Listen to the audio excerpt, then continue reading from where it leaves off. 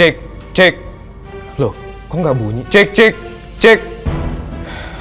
Kok nggak bunyi? Jangan-jangan amplifiernya rusak. Astagfirullahaladzim. Amplifiernya hilang. Masya Allah, siapa yang ngambil? Masya Allah. Kok belum juga ajan? Udah waktunya nih. Itu dia Pak Ustadz. Saya sholat maghrib di sini, amplifiernya masih ada dan sekarang hilang. Astagfirullahaladzim. Kok bisa hilang sih? Saya juga nggak ngerti Pak Ustadz. Loh, loh. Ada apa ini? Ini Pak Ipul, amplifier masjid kita hilang Pak Ipul. Apa?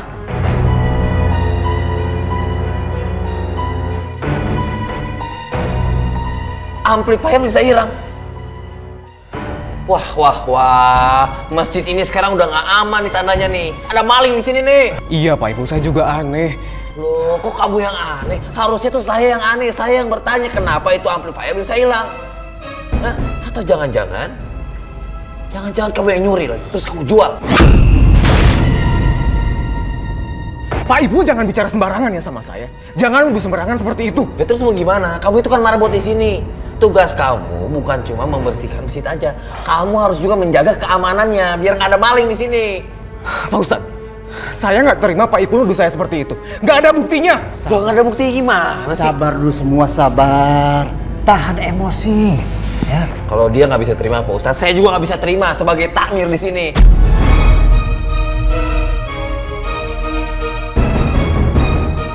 Loh, coba lihat. Kotak amalnya nggak ada loh.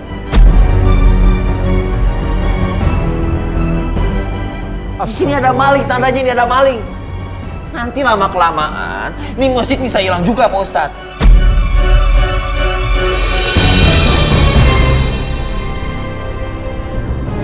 Demi Allah Pak Ustadz. Bukan saya yang mengambil kotak amal itu Pak Ustadz. Demi Allah. Semoga aja ya. Sumpah kamu itu betul. Sudah, sudah. Tahan emosi.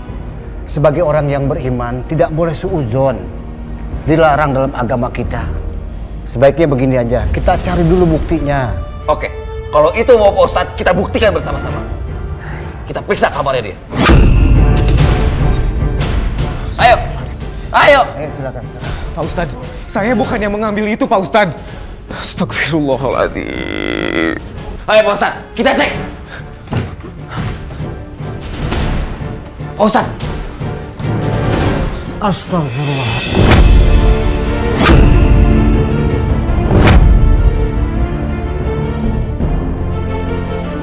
kita cari yang lain.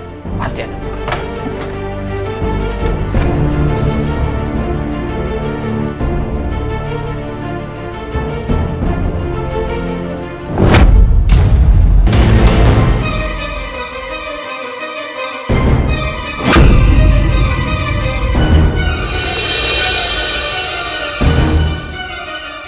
Ini udah jelas-jelas barang bukti ada kotak amal dan ada uang sumbangan di sini. Sumpah demi Allah Pak Ipul. Saya nggak tahu siapa yang membawa kotak amal ini ke kamar saya. Udahlah, kamu itu harus mengakui kesalahan kamu. Kalau kamu tidak mau mengakui, itu artinya kamu tidak mau mengakui dosa kamu yang pertama. Kamu sudah mencuri. Dan yang kedua, kamu tidak mengakui apa yang telah kamu curi. Demi Allah Pak Ipul. Bukan saya yang mengambil kotak amal ini.